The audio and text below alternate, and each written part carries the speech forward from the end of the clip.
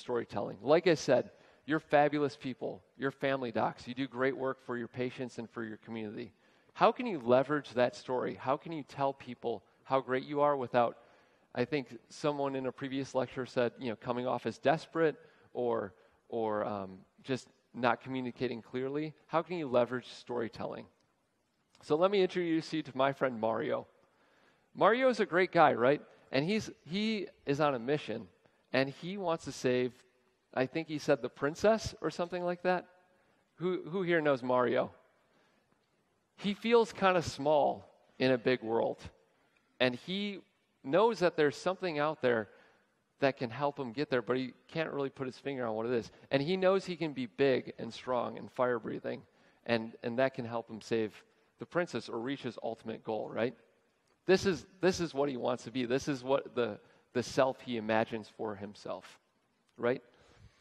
So a lot of people make the mistake of selling people your product, and that is not what you sell. You don't sell your product. This is not what your business sells. You don't sell wholesale meds and at cost labs and 24 7 access. You sell fire breathing Mario. You sell the awesome person who can do rad stuff, right? And, and I'm going to take you back to lectures. Remember that lecture with Vance and Nick and, and Rubicon consults and that video they made, right? Who's the hero in the story? The patient. The patient is the hero because now she no longer has this thing on her nose.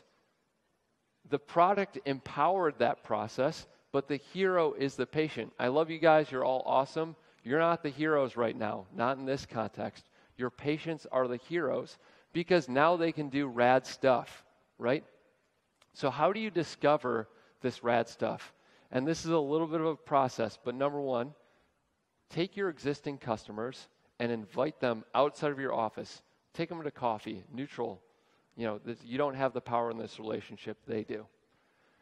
And ask them, ask them about your product. Tell them, what does the product mean to you? What was your life like before you had the product? And what's your life like now after the product? And here's the kicker what did that mean to you, right?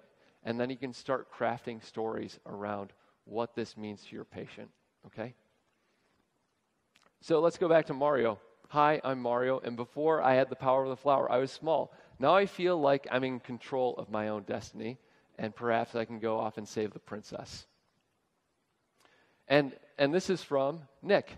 I saw this on Facebook when I was putting this presentation together. It's subtle, but it's there. Patient overheard leaving my office today. You make this so easy. Ask yourself the last time you felt like saying that while leaving your doctor's office, right? Here's the patient they're the hero, and they're saying, This simplifies my life. This isn't a perfect example, but it's pretty close to the truth. How can you leverage the stories of your patients to tell other patients, other customers like them about your product?